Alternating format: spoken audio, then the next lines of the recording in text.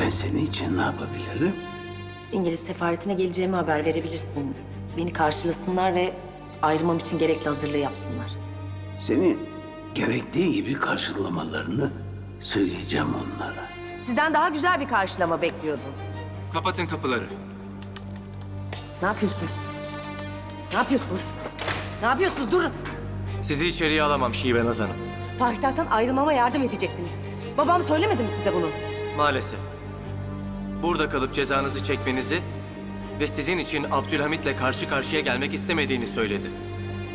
Onun için ölümü göze aldım ben.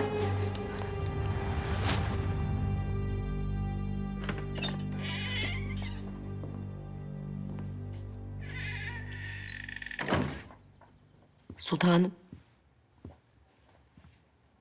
Nasılsınız? Daha iyi misiniz? İyiyim. Sağ ol. Yalnız bir iki gün daha burada kalabilir miyim? Zindanda yaran mikrop kapabilir çünkü.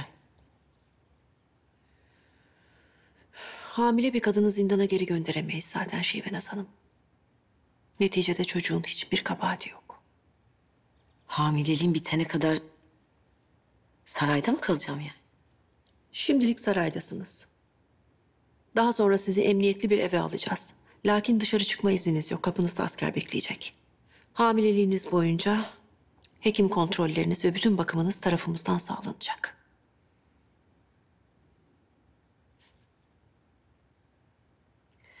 Babam beni iki defa terk etti.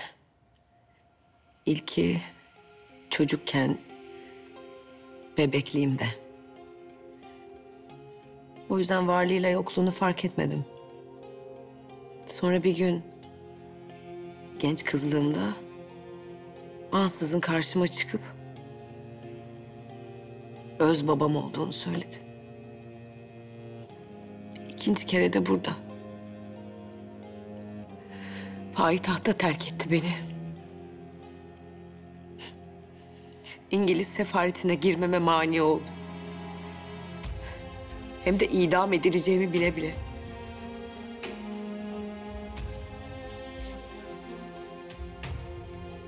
Sizse... Sizi düşmanım olarak görmeme rağmen... Beni bağışladınız. Ölümden kurtardınız. Ne düşüneceğimi bilemiyorum. Düşünmek için çok fazla vaktiniz var. Elbet doğruyu bulursunuz.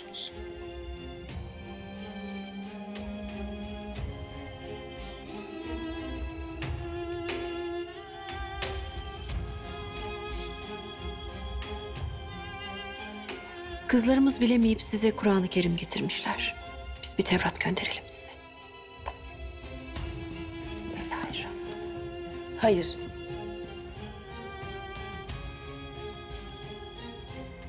Kur'an-ı Kerim kalsın lütfen.